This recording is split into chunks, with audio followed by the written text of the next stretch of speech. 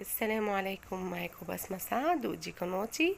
اللي أول مرة يشوفني ياريت يعمل subscribe ويفعل الجرس ويدوس like معانا وصفة حلوة وغنية النهاردة وهي مقلقل أو مقلقل دي لحمة سعودي أو أكلة سعودية مشهورة جدا في السعودية وطبق أساسي في السعودية. نشوف بقى الوصفة ونشوف مقاديرنا. يلا بينا. معايا طاسة كبيرة. هضيف فيها زيت. أنا الزيت اللي أنا ضفته دوت ده زيت ذرة.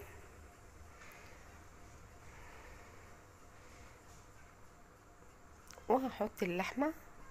أنا مقطعة اللحمة مكعبات زي ما أنتوا شايفين كده.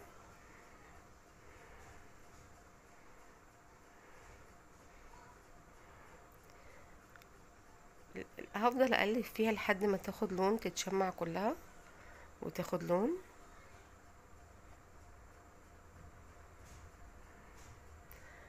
أهي خدت لون معايا. هغطيها تنزل المية بتاعتها.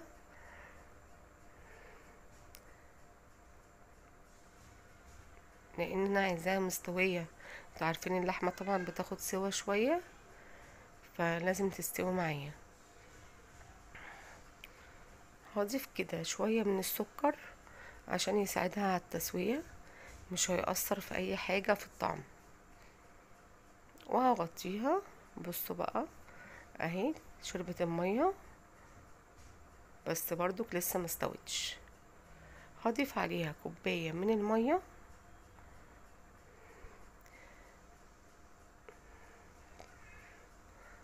اهو. وهسيبها تستوي بقى براحتها على نار هادية.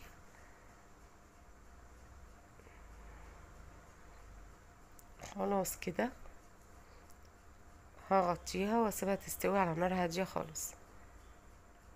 بصوا خلاص هي اهي شربت المية اللي فيها واستوت معايا ما شاء الله جميلة. بصوا اهي هنزل كده بقى ببصل جوليان أو جوانح حسب ما تقولوا يعني وهقلب فيها. هنزل بمعلقة توم مهروس.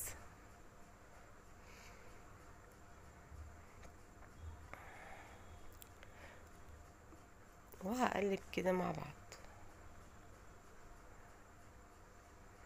هجيب بقى فلفل ألوان مقطعاه شرايح وفلفل حار. طبعا الفلفل اللي هو الحار أو السبايسي اختياري. لو مش عايزين تحطوه ما تحطوش. الفلفل الألوان إحنا عارفين فيه قيمة غذائية وفيتامينات فحلو جدا لجسمنا ومفيد.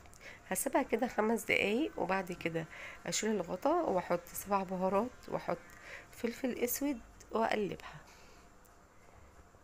بصوا الألوان بتاعة الفلفل تحفة جدا وريحتها مش عايزة أقول لكم رهيبة بجد رهيبة ما شاء الله. جربوا الوصفة دي بنفس الطريقة دي هتعجبكم جدا.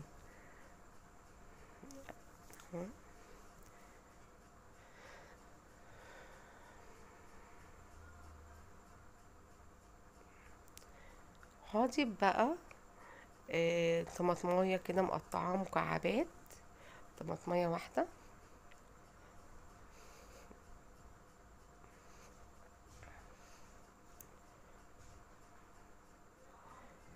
هحط الملح طبعا الملح ده بيبقى آخر حاجة.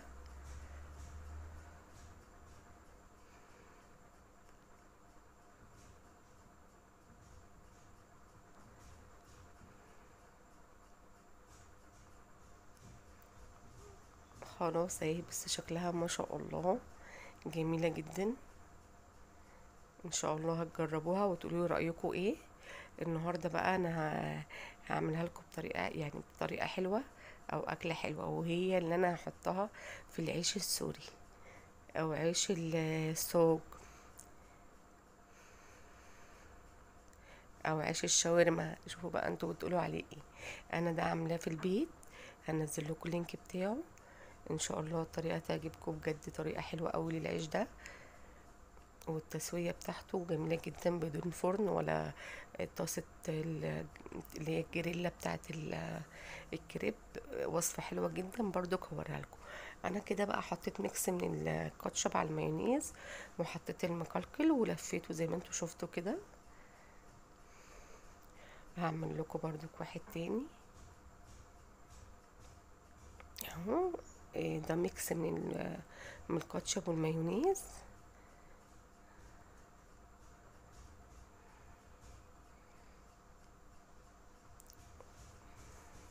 وهحط كده المقلقل اللي معايا. وطبعا في هضيف دلوقتي البطاطس. دي بطاطس أنا قلياها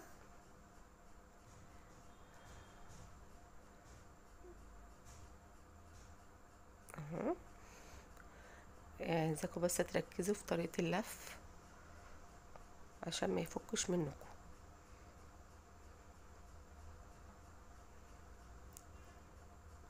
أهو. هعمل واحد من غير صوصات. أنتوا ممكن تحطوا تومية برضو. أي صوص عندكم أنتوا بتحبوه ممكن تضيفوه. ده طبعا من غير أي صوص.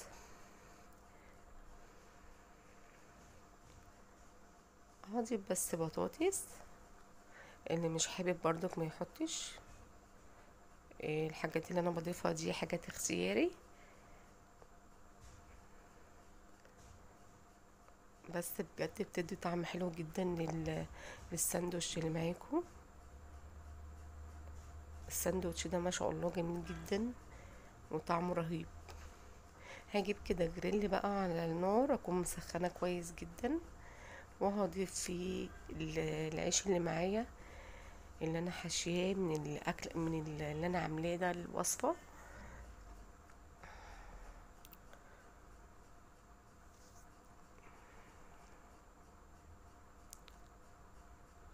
طبعا ما نسووش عشان ما يتحرقش.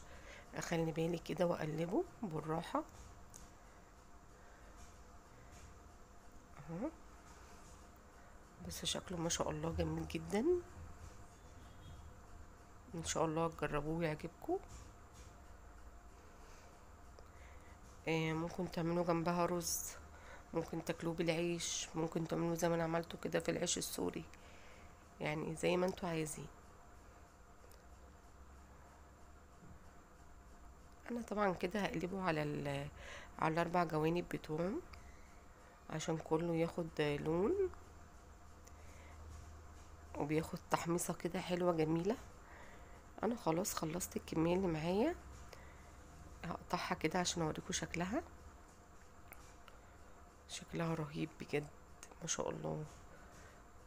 بصوا. جميلة جدا.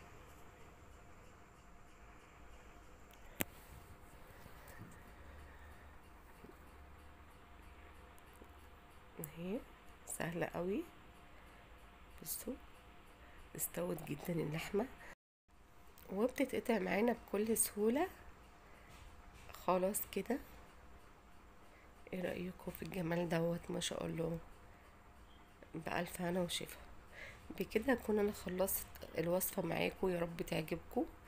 آه وصفة جميلة وحلوة قوي ومغذية وفيها فيتامينات.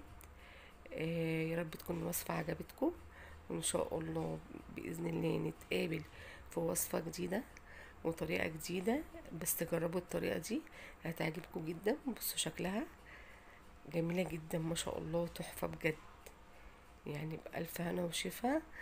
إيه وما تنسوش طبعا تقولوا لي رأيكم في التعليقات. وما تنسونيش حبايب قلبي طبعا في اللايك. ونتقابل إن شاء الله في وصفة جديدة. وأسيبكم في رعاية الله. والسلام عليكم ورحمة الله وبركاته.